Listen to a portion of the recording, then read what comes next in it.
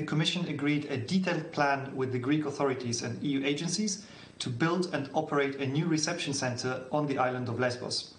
Uh, this new centre, fully in line with European standards and operated with swift and fair procedures, is to be completed by early September 2021.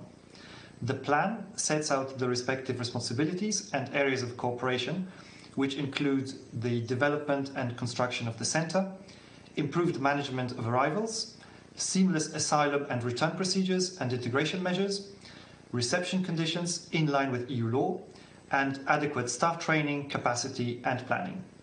Today's agreement comes in addition to 121 million euro in EU funding granted to Greece last month for the construction of three smaller reception centres on the islands of Samos, Kos, and Leros, which will also be completed by September 2021. More information is available online, including also in Greek. Thank you, Adalbert.